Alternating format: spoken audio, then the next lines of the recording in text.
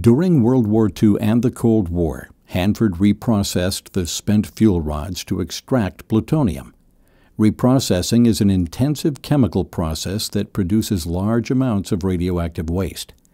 The Carter administration halted reprocessing in the United States in 1977 because of concerns surrounding the proliferation of nuclear weapons. Keith Klein explains the challenges of dealing with sludge today.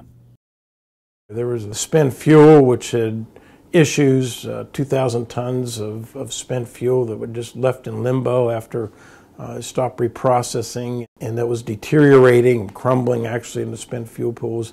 Plutonium that was, you know, in the production line, various stages of production, liquids, solids, you know, you name it. Several tons of plutonium that needed to be dealt with. Didn't get the same attention, I think, maybe as the tanks.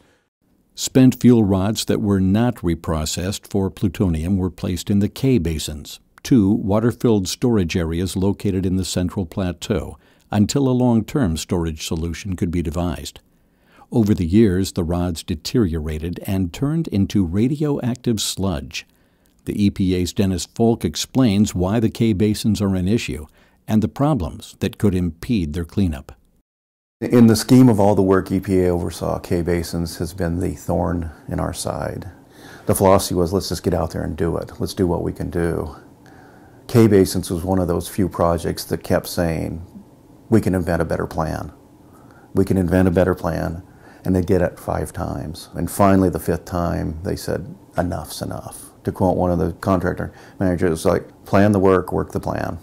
Plan the work, work the plan. And that gets it done.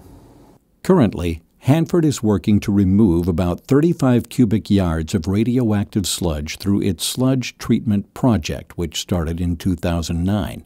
The goal is to decontaminate the sludge and eventually move it to the waste isolation pilot plant.